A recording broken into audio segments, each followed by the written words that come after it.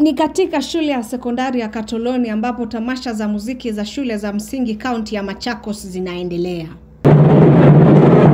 Ni tamasha zinazojumuisha wanafunzi walio na ulemavu wa kutosikia, kutoona, wasioongea pamoja na wale wasio na ulemavu wowote.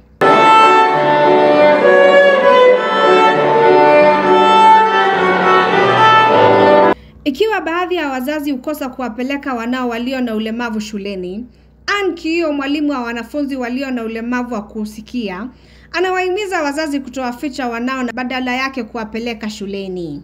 Some parents keep their children at home. They don't bring their children to school. Uh, the kids are talented. They can do marvelous if taught well. Have a quite number of them, they are 30 in my school. And for them, all can perform academically and even games and even the music. The parents of those kids don't even bring the kids to school. They say because they can't hear, they can't talk, they cannot be able to learn. So we are encouraging those parents down there. Please bring your children at, home, at school so that they may learn and they also have future to live.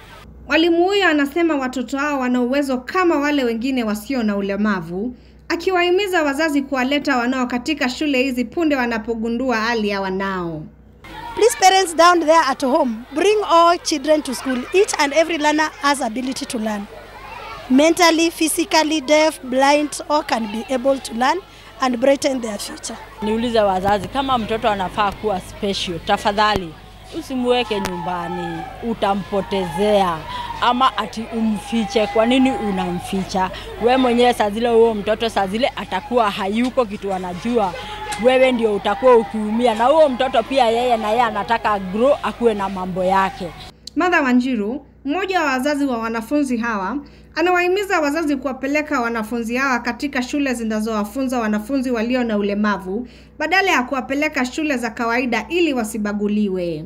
Mtoto akiwa shule special kama we ni wa special, she's more comfortable than akiwa kwa shule ya kawaida na wale watoto wa kawaida, na yeye ako na shida fulani cause atajionaga yeye ako nyuma na ni kama hafanyi kama hawa wengine, so huo mtoto anaweza jichukia ama akae kama anakaa kando, lakini akiwa pale special, mwalimu atafuatilia ile kitu huyo mtoto anaweza fanya.